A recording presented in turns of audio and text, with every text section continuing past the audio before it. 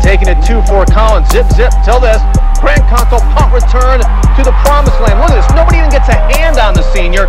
7 0 Mullen up to stay.